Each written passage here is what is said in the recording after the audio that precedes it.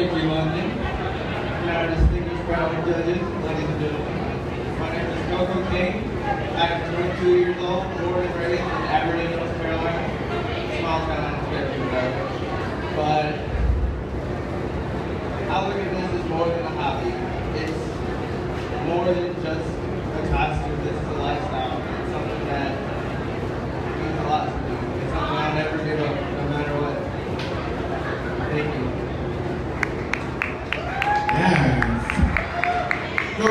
and pick a question for me. Go ahead and read it to yourself.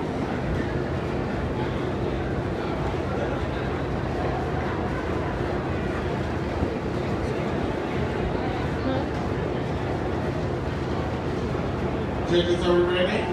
All righty.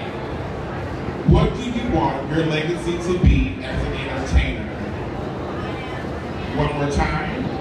What do you want your legacy to be as an entertainer?